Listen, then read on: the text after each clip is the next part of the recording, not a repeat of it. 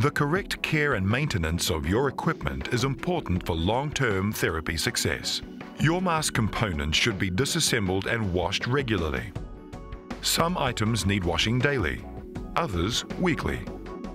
It is recommended you use soap and warm water.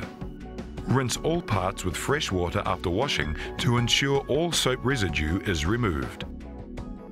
Do not clean any items in your dishwasher. To prepare for washing, unhook the headgear clips from the mask frame.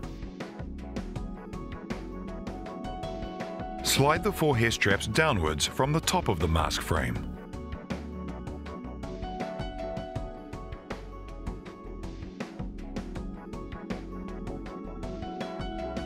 Remove the swivel from the elbow. Do not remove the ball and socket elbow from the mask frame. Remove the RollFit seal attachment from the easy frame. The correct care and maintenance of your equipment is important for long-term therapy success. After every use, you should wash your mask frame assembly, RollFit seal and swivel connector in warm soapy water. Once a week, you should also wash your headgear in warm soapy water. Do not soak parts for longer than 10 minutes.